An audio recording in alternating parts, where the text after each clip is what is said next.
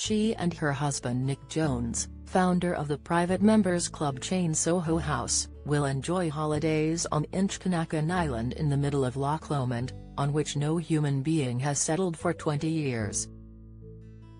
Its troop of wallabies are among the only ones living in the Northern Hemisphere.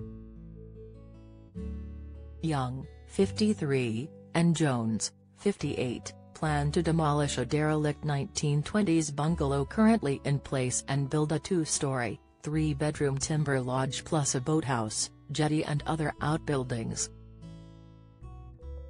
A source insisted all work will be in keeping with what is already on the island and that Inchconnachan will play part in the £1.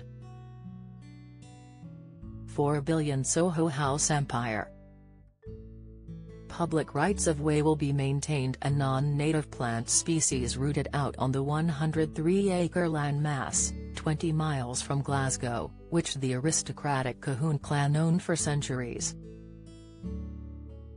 Looking for a new home, or just fancy a look?